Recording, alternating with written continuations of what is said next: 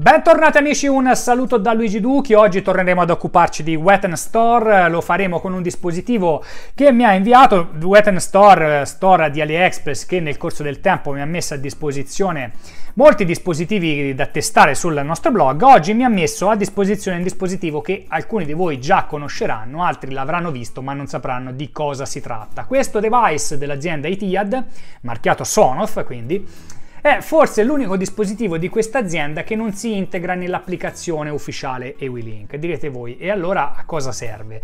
Questo device non è altro che un gateway universale eh, ZigBee che cosa vuol dire per Gateway Universale ZigBee? Permette di accoppiare adesso eh, device eh, con il protocollo ZigBee di tantissime aziende e farle collaborare fra di loro. Questo grazie ovviamente a un hub domestico quale eh, Home Assistant, ovviamente anche gli altri hub domestici, ma noi trattiamo per la precisione sempre ed esclusivamente Home Assistant, quindi potrete utilizzare questa, eh, questa dongle USB proprio sul noto hub domestico.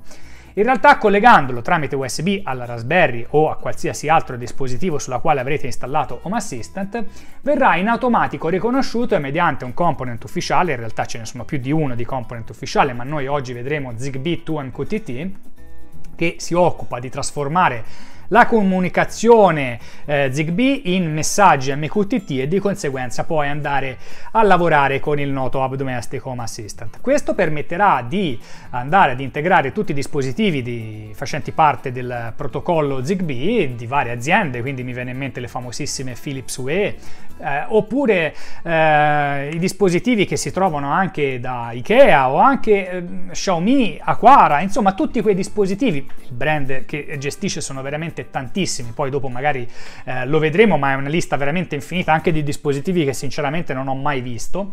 Diciamo che il protocollo ZigBee è un protocollo standard, quindi è vero che ognuno ha il suo gateway proprietario con all'interno un software che gestisce i propri, mar- i propri dispositivi, ma in realtà il protocollo è unico e può essere utilizzato appunto con questi gateway universali e di conseguenza integrabili poi in hub domestici come Home Assistant.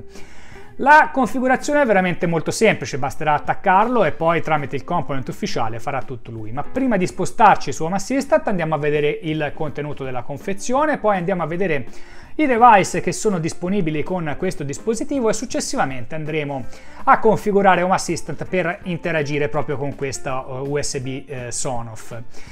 Questo anche perché così andremo avanti anche con le guide riguardanti i principianti, diciamo, che si affacciano nel mondo di Home Assistant, che ultimamente ho un po' tralasciato perché, ahimè, le cose da recensire erano veramente tantissime, il tempo a disposizione, disposizione è veramente poco e quindi oggi riprenderemo questa saga che è molto molto seguita.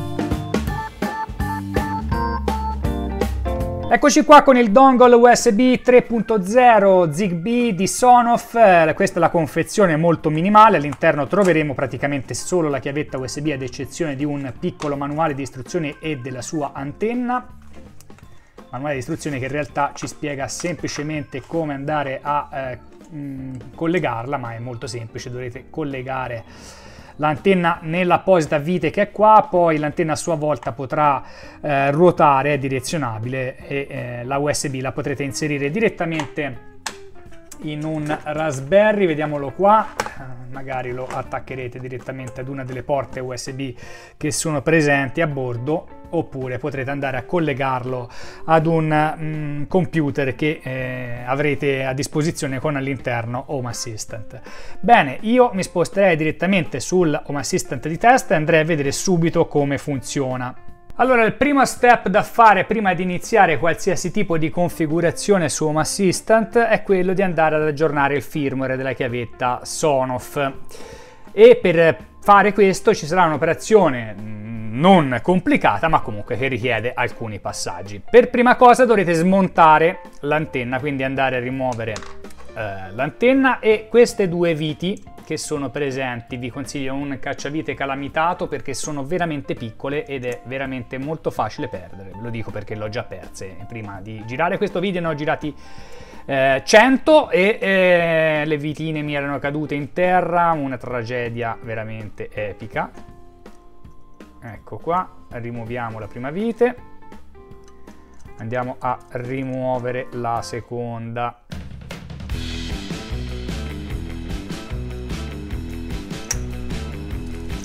lo sportellino viene via da sé e la chiavetta Sonoff si sposta. Come noterete, vediamo un po' se riesco a farvelo vedere nel dettaglio, ci sono due pulsanti, uno chiamato boot ed è proprio quello che ci servirà.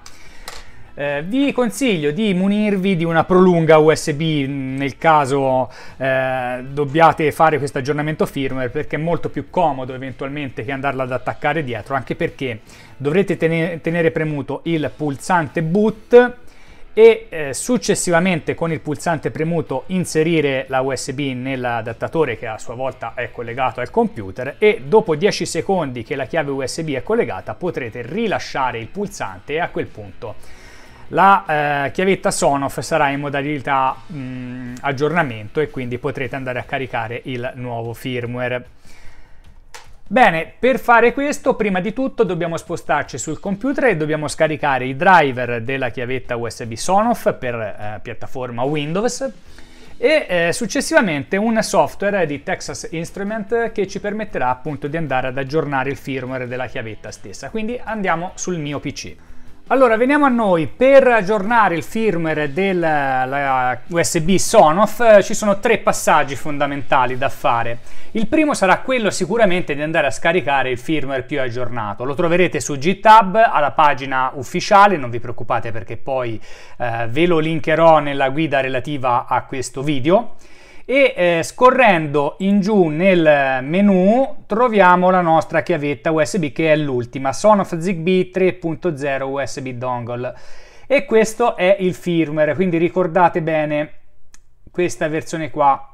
CC135.2P2 CC2652P Launchpad. Il, numero che seguirà poi eh, sarà identificativo del numero di serie del firmware per scaricarlo non dovrete fare altro che andare su Go to File, Go to File, anzi no, eh, scusate, dovete andare su mm, qua, ZStack Firmware, Code e premere su Download Zip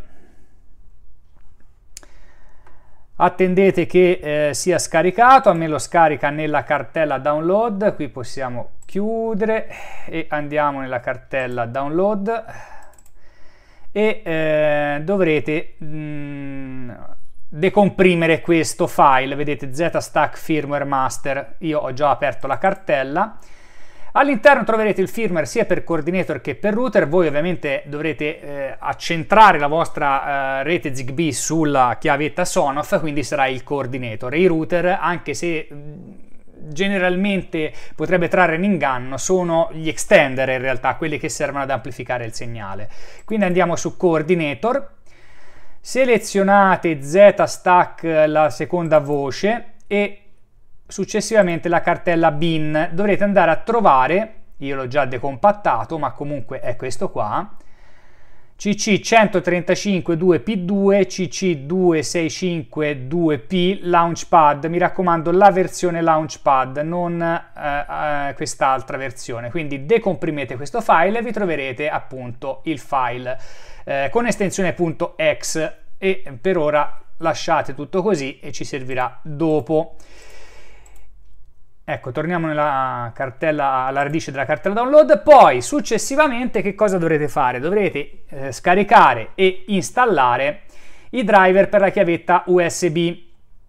Anche in questo caso andrete sulla pagina Sonoff ufficiale, e anche in questo caso vi metterò eh, il link. Scorrendo in fondo alla pagina, eh, scorso troppo, dovrete cliccare su eh, questo PDF che vi si aprirà online e eh, dovrete eh, aprire questo indirizzo qua. Quindi cliccateci sopra. Si aprirà una pagina eh, di un NAS probabilmente messo in rete da, da Sonoff che vi permetterà di scaricare il file. Quindi cliccate su scarica attendete che abbia terminato il download Una volta effettuato il download potete tornare nella cartella appunto download che la troverete qui. Anche in questo caso io ho già provveduto a decomprimere eh, il, il driver, che è questo qui, CP210X Windows Driver, Aprite qua, a questo punto dovrete selezionare il driver in funzione del vostro sistema operativo Windows, se è a 64 bit o 32 bit, che in gergo si scrive per 86 ma comunque sta ad indicare 32 bit. Nel mio caso ho installato la versione da 64 bit, non ve lo faccio vedere perché io l'ho già installato, comunque cliccando, facendo un doppio clic sulla versione andrete ad installare il driver. Ed infine avrete bisogno di scaricare il eh, software mh, mm, di flash della chiavetta USB e lo farete direttamente dalla pagina di Texas Instruments. Dovrete eh, assolutamente creare un account che ovviamente è totalmente gratuito, scorrete poi nella pagina, anche questo link ovviamente lo, ve lo metterò in descrizione, e andare a scaricare questo qua, Flash Programmer 2, quindi eh, cliccate su Download Option Eccolo qua, Windows Installer for Smart Flasher Programmer 2, Flash Programmer 2, qui dovrete mettere il vostro account, la vostra password e dovrete compilare un piccolo, un piccolo format per indicare che non avete intenzione di utilizzare questo programma per programmi militari, vai a sapere cosa vogliono, comunque compilate i vostri dati e successivamente cliccate yes. Questi americani sono sempre eh, così timorosi che qualcuno possa utilizzare un eh, software per chissà quale motivo, submit e successivamente download. Se tutto è andato a buon fine, fra un po' vedrete che inizierà a scaricare il file, infatti eccolo qua. Eccolo qua e anche questo lo troverete nella cartella mm, download. Torniamo alla radice Eccolo qui e, e quindi di conseguenza mm, dovrete decomprimerlo, io l'ho già fatto ed eccolo qua e dovrete andarlo ad installare. Una volta fatta questa operazione dovrete collegare la chiavetta Sonoff Eccoci qua, il programma aperto, se tutto è andato a buon fine avrete già installato i driver della USB e avrete smontato la vostra chiavetta come vi ho fatto vedere prima. Noterete i due pulsanti reset e boot, a noi interessa boot, quindi io mi sono avvalso di una prolunga USB femmina in modo da essere più agevolato per fare questo video con la chiavetta nuda senza l'antenna non è necessaria, comunque se la volete tenere la potete tranquillamente tenere, tenete premuto il pulsante boot e inserite la USB. Incredibile, al primo colpo, quasi impossibile. Attendete sempre tenendo premuto il pulsante boot qualche istante, una decina di secondi all'incirca, e poi potete rilasciarlo. Nel frattempo avrete notato che nel eh, software è comparsa la nostra chiavettina che però non viene eh, riconosciuta, quindi cliccate su sconosciuto, eh, select target device, dovete eh, selezionare la prima voce CC2652P, successivamente fate un bel refresh, ecco qua, refresh, ecco, ho sbagliato, dovete selezionare C265 e poi fate un bel refresh. Ok, poi andate a selezionare da browse il vostro firmware scaricato, io lo, ho nella mh, mm, cartella download, ricorderete che ho scaricato solo quello specifico per la nostra chiavetta che nel nostro caso è la CC2652P. Tenete presente che il numero finale di questo file X potrebbe cambiare a seconda della versione del firmware. Attualmente questa è l'ultima disponibile, magari se fate eh, questa guida fra un po' di tempo questo numero potrebbe essere progressivamente superiore rispetto a questo qua. Quindi poi andate a spuntare la casella Erase, Program e eh, verifi verifica e successivamente l'ultimo step da fare è andare a premere il pulsante Play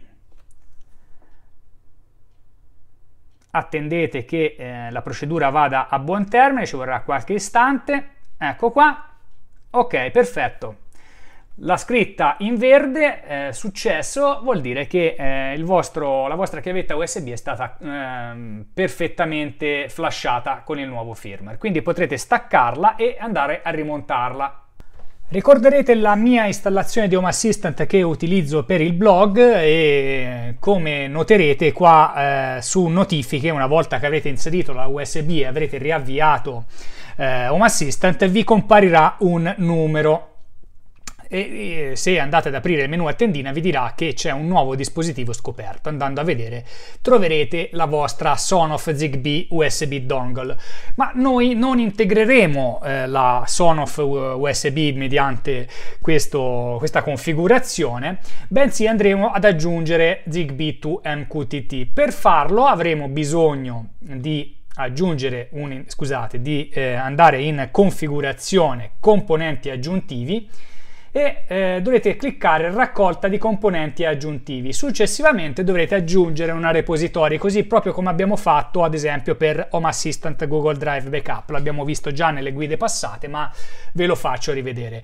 Per prima cosa andate su questo sito qua, che è il sito ufficiale di GitHub di Zigbee 2 MQTT, e dovrete copiare questa repository qua. Quindi andrete a cliccare e copiare Successivamente tornerete qua, eh, dovrete cliccare i tre puntolini in alto a destra, repositori, e andare ad aggiungere la repository appena copiata, quindi cliccate su aggiungi. Ed ecco qua, chiudendo, troverete Zigbee 2 MQTT, quindi cliccateci sopra e andate ad installarla. Una volta installata non avviatela ma spuntate innanzitutto Watchdog, aggiornamento automatico lo lascerei eh, vuoto, tanto nel caso che eh, ci sia un aggiornamento ve lo notificherà e a quel punto lo farete manualmente e poi mettete mostra nella barra laterale in modo che come vedete vi comparirà questo menu Zigbee to NQTT. Successivamente dovrete andare alla configurazione allora, prima di andare a vedere la configurazione voglio farvi vedere un passaggio abbastanza importante. Voglio aprire e chiudere una parentesi. La mia installazione di Home Assistant, anche se vi feci vedere l'installazione su un Raspberry Pi, poi è stata trasferita in un secondo momento per mia praticità su una macchina virtuale su Proxmox, lì dove è anche la mia installazione principale, dove eh, gestisco il mio appartamento. A tal proposito, in futuro faremo vedere una guida proprio per l'installazione di Home Assistant anche all'interno di una macchina virtuale sul sistema operativo Proxmox, che è mm, Linux based. Ecco, eh, la cosa che cambierà fondamentalmente è il nome della porta USB eh, dove avrete collegato la vostra chiavetta USB eh, Zigbee della Sonoff. E eh, per vedere questo dovrete andare su configurazione, supervisor, sistema e poi hardware. E eh, dovrete andare a notare la porta eh, chiamata IT The Son of Zigbee 3.0 che nel mio caso come vedete qua devname slash dev slash tty usb 0 usb maiuscolo tra l'altro.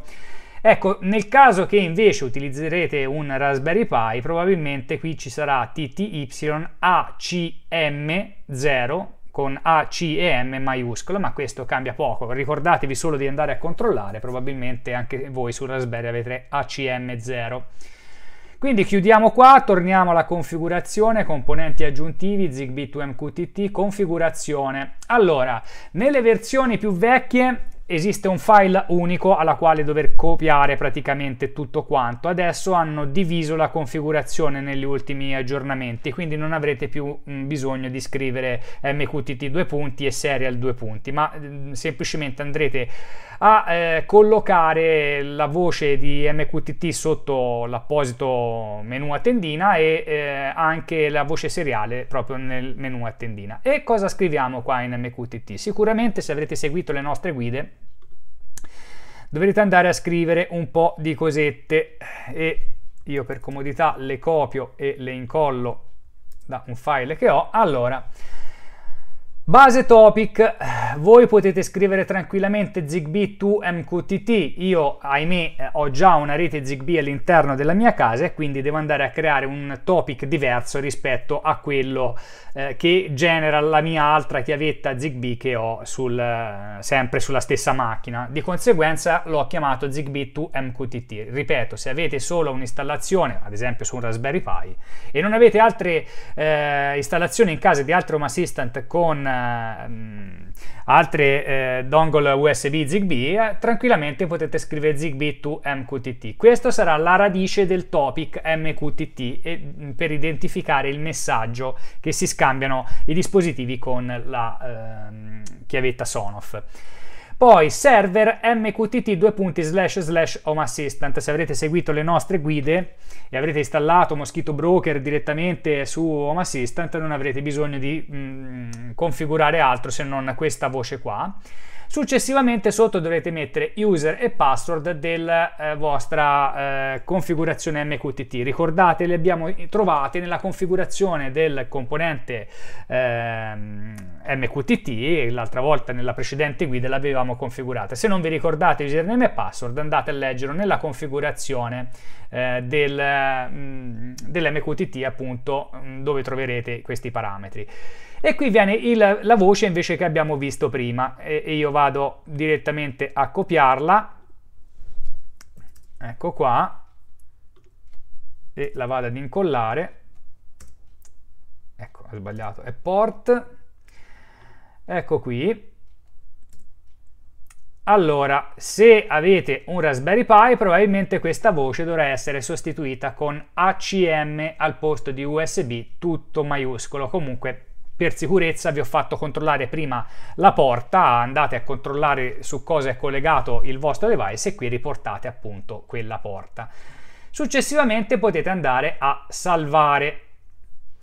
Tornando in informazioni, andate ad avviare il componente. Chiamo quindi su avvia ci vorrà un po', specialmente se è la prima volta che avviate il dispositivo, mm, la CPU andrà alle stelle per eh, qualche istante, poi tornerà con valore prossimo allo zero, quindi non è molto energivoro questo componente, solo in fase di avvio lo è.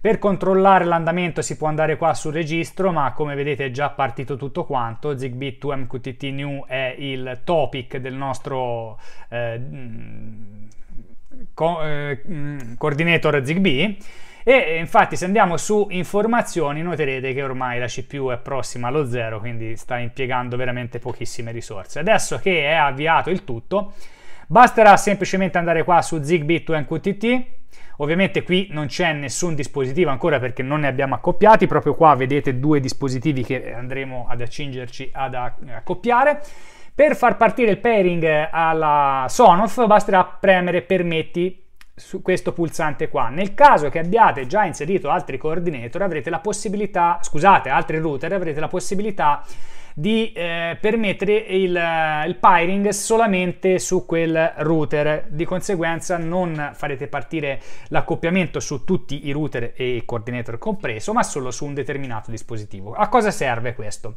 Serve che eh, magari avete intenzione di installare un dispositivo end user e per dispositivi end user intendo tutti i device Zigbee a batteria in quanto essi non riescono a propagare la rete Zigbee ma sono solo dei client, mentre tutti i dispositivi, o perlomeno la maggior parte dei dispositivi che vengono alimentati a 230 volt o comunque alimentati da eh, tensione invece che a batteria, Ecco, questi possono fare da router, quindi da repeater del segnale. Ad esempio, se andate a mettere uno di questi due dispositivi in fondo ad un appartamento molto grande e il coordinator l'avete dalla parte opposta della casa, probabilmente avrete una scarsa qualità del, del, segnale e di conseguenza avrete necessità di andare ad includere anche un router per ampliare proprio la vostra rete Zigbee. Quindi per accoppiare il tutto premete permetti join Ecco, una volta che avrete abilitato il, ehm, il join, andiamo a eh, mettere in pairing mode i due dispositivi che abbiamo visto qua sopra. Ecco, adesso che la Sonoff è in pairing mode, andiamo ad inserire questo dispositivo. Per inserire questo device che è una Quara, un sensore di vibrazione, andrà semplicemente tenuto premuto il pulsante per 5 secondi. Ovviamente la modalità di accoppiamento cambia da dispositivo a dispositivo.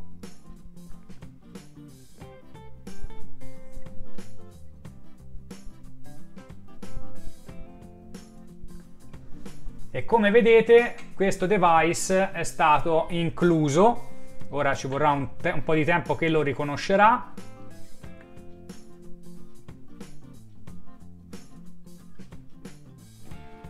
Vediamo un po'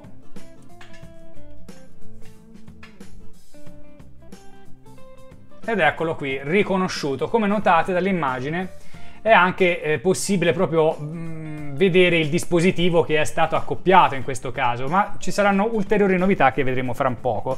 Intanto andiamo ad accoppiare anche l'altro dispositivo. Come vedete c'è un timer di, che va a scalare, quando arriverà a zero si disabiliterà completamente e se volete rinnovare il, la modalità di accoppiamento disabilitate e riabilitate il tutto partirà un timer da 4 minuti e spicci e anche in questo caso dovrete tenere premuto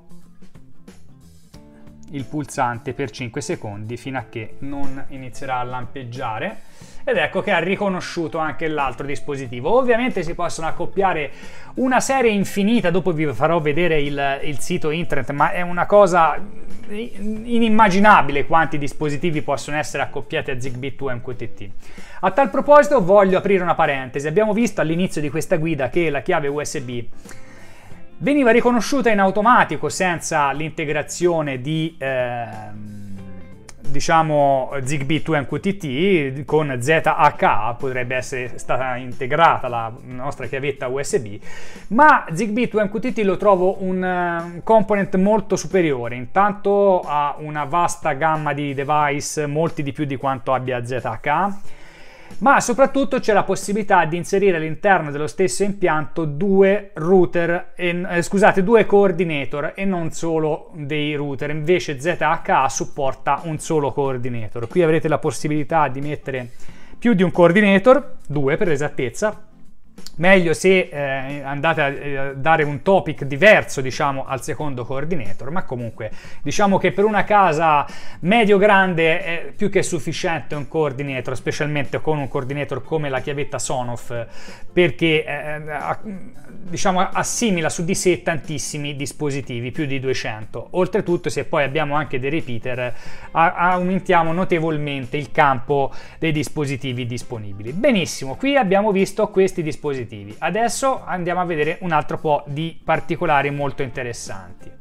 Ecco qua, innanzitutto qua abbiamo come primo valore il valore LQI che è il valore di eh, comunicazione con il coordinator e quindi è molto alto, arriva ad un massimo di 255, in questo momento il coordinator è il piano di sotto, quindi diciamo che 105 per un piano di differenza è molto molto alto. Questi due device erano due device che avevo buttato dentro un cassetto con la batteria vai a sapere da quanto tempo, in realtà infatti l'alimentazione è prossima allo 0%, comunque dà anche la percentuale di scaricamento della batteria o eventualmente dà eh, il simbolo del, della presa di corrente se è un dispositivo alimentato a corrente. Da qua potrete rinominare il device Spuntando questa voce potrete anche andare a ehm, aggiornare direttamente l'entità di Home Assistant, dopo lo vedremo, anzi qui lo facciamo subito e mettiamo vibrazione. Questo probabilmente sarà un binary sense, non li uso mai questi, eh, questi sensori di vibrazione, ne ho diversi ma non li ho mai installati a dire la verità.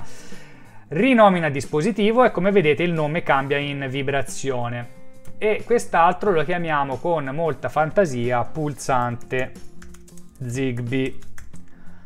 Aggiorna anche l'entità così va a rinominare anche da strumenti per sviluppatori. Infatti se qui andiamo a binary sensor, eccolo qua, binary sensor vibrazione vibration. Questo perché ha vari ehm, vari valori che può farci vedere, ad esempio select vibrazione sensitive e qua vediamo un po' si può eh, andare a selezionare media, alta o bassa la sensibilità direttamente da questo e poi cos'altro abbiamo? Sempre sullo stesso sensore penso che non ci sia altro.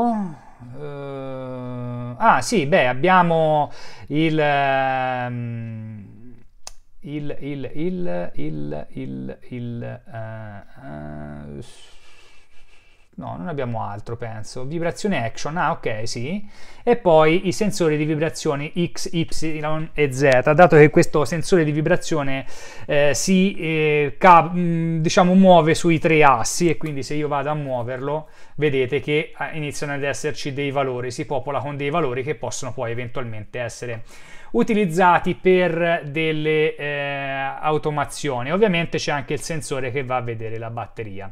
Mi è sembrato di vedere anche il binary sensor che eh, altro non è che il pulsante che abbiamo fatto e vediamo un po'. Uh, mi, mi, sfugge adesso, eccolo qua, pulsante Zigbee Action, adesso è sconosciuto perché non è mai stato fatto niente, ma se io ad esempio tengo premuto è veramente molto veloce, mm, come vedete, release, hold, cambia in maniera molto istantanea. Dopo vedremo come andare a ehm, comporre un'automazione, anzi lo vedremo magari in un secondo momento. Ecco, vi dicevo, torniamo nuovamente su Zigbee 2 MQTT perché voglio farvi vedere una cosina molto carina che è la mappa. Quindi carica mappa, ci vorrà un po' di tempo, anzi diciamo che eh, ogni tanto questo sensore impazzisce con questa nuova versione, poi si ferma, eh, ve lo garantisco. Eh, eh, vabbè, comunque volevo farvelo vedere fermo, accidenta lui, guarda qua non si ferma, sparateli, sparate a quel sensore, sparateli, fermo, fermo, fermo sensore, non ti muovere. È impazzito, è impazzito amici, è impazzito.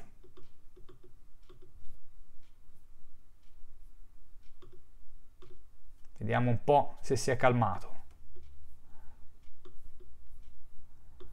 Eccolo qua, si è calmato. Ok, questo è il coordinator e questi sono i pulsanti, e, eh, il pulsante Zigbee e il sensore di vibrazione. 95 e 109 sono l'LQI che abbiamo visto di comunicazione fra l'uno e l'altro. Ovviamente più è grande il vostro impianto Zigbee e più questa mappa viene popolata di dispositivi. Se ce ne fossero degli altri eh, che fanno da router, sarebbero identificati con eh, un simbolo blu con il relativo nome tra cui avremo anche delle linee tratteggiate che sono le linee di comunicazione fra il um, router e magari un altro router e di conseguenza il coordinator perché i device che sono in, in, fra router e coordinator comunicano fra di loro proprio come abbiamo detto prima.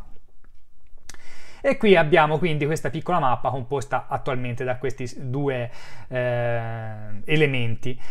Come abbiamo visto, una volta che sono integrati in Zigbee o in QTT diventano delle entità a tutti gli effetti e quindi possiamo andare a creare un'automazione, ad esempio alla pressione del pulsante faremo accendere una luce. Adesso la andiamo a vedere.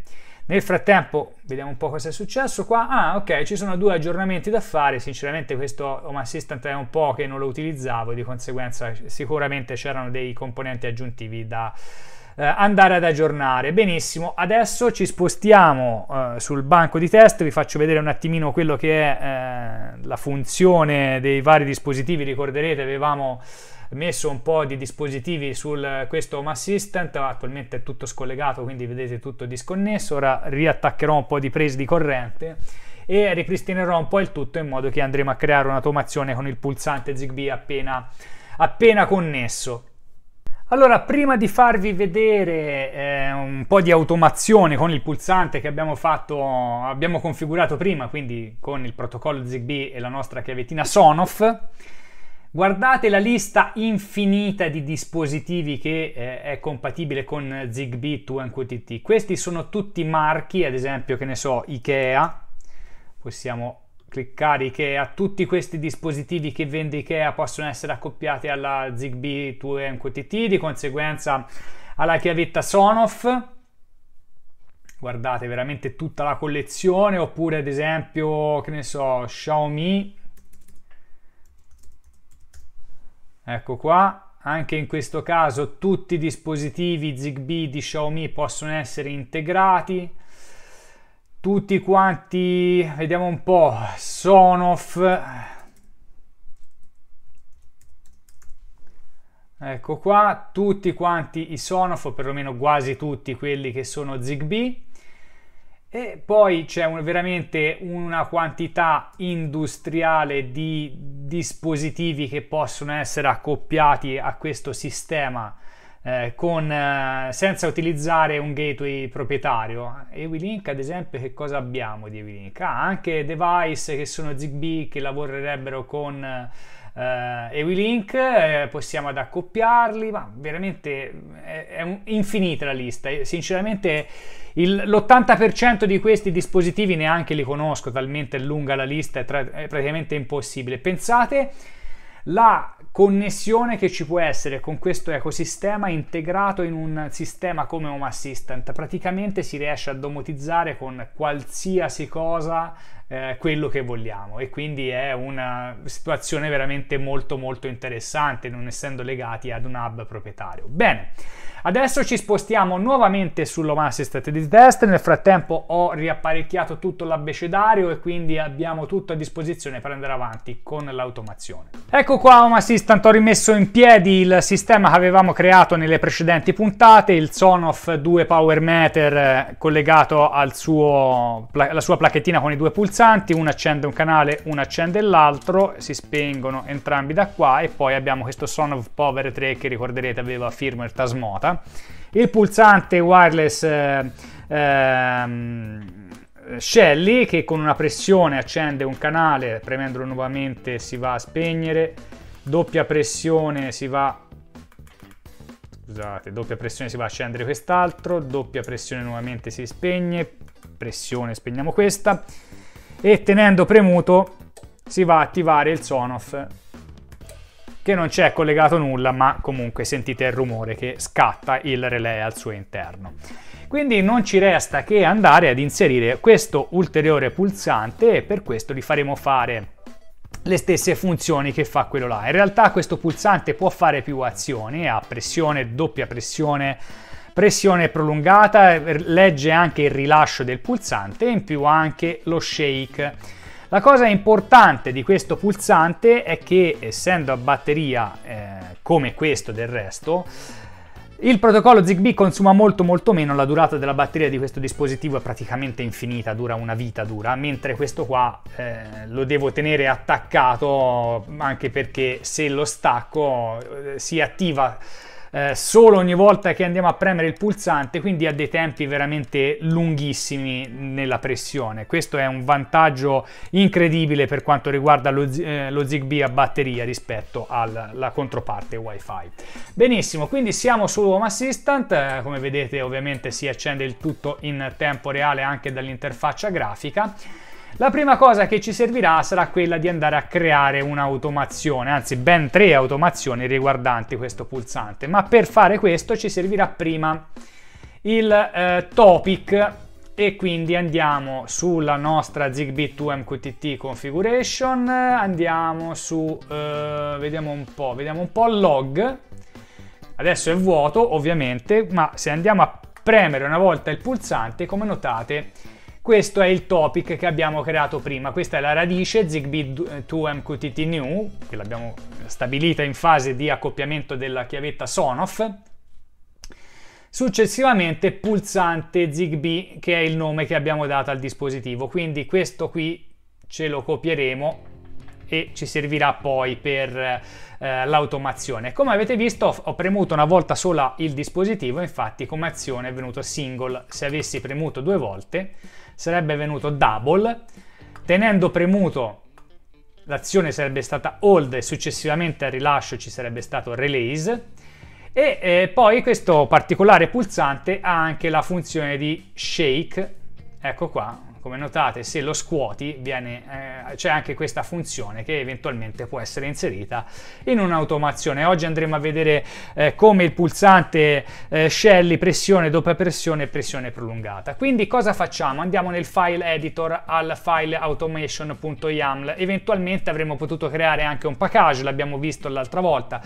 Allora io tendenzialmente eh, cerco sempre di mettere tutto nei package, però si può fare tranquillamente anche nelle automazioni informazioni. Quindi facciamo un bel segno divisorio per andare ad indicare, questo non è obbligatorio ma altamente consigliato, e eh, mi vado a copiare queste tre automazioni che prima della guida ho già scritto, poi ve le spiegherò in modo che eh, andiamo a velocizzare un pochino i tempi, dato che questa guida è anche molto molto lunga. Ecco qua.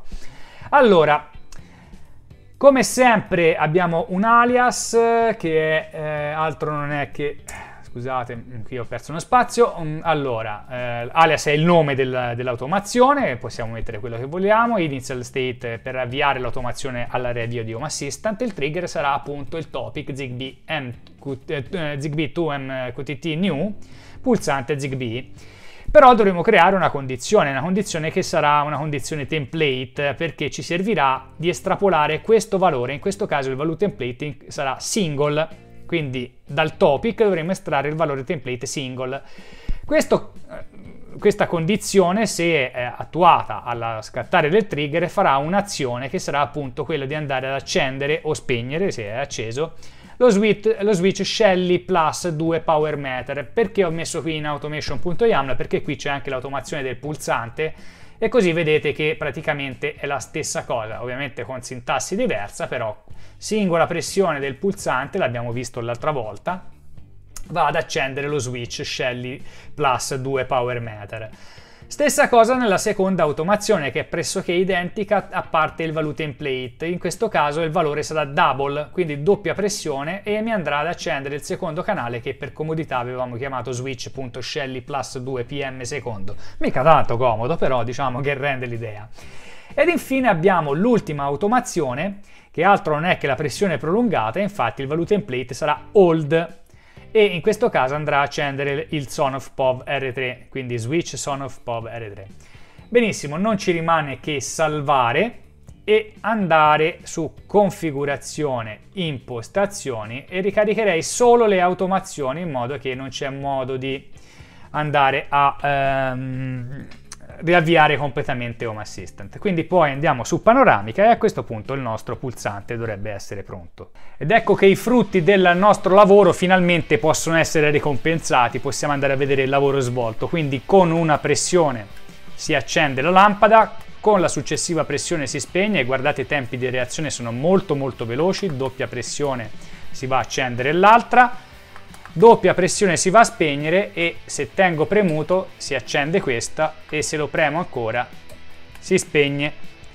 Volendo avrei potuto fare anche un'ulteriore azione con lo shake ma evitiamo per questa volta rispetto al eh, pulsante wifi adesso considerate che è collegato alla batteria ma se non lo fosse sarebbe veramente molto lento e questo considerate che non è collegato al router ma è tramite zigbee che poi a sua volta comunica con Assistant. In realtà fa un giro molto più lungo ma è molto molto più veloce. Oltretutto la batteria dei dispositivi zigbee dura molto molto di più rispetto a quella wifi Bene, bene, bene amici, anche per oggi siamo giunti al termine, vi ricordo di seguirci sui nostri canali, all'indirizzo www.vincenzocaputo.com troverete il nostro blog. E poi ricordatevi sempre di spuntare la campanella su YouTube in modo da essere notificati ogni volta che pubblichiamo un video nuovo. Non mi rimane che salutarvi, alla prossima guida, ciao!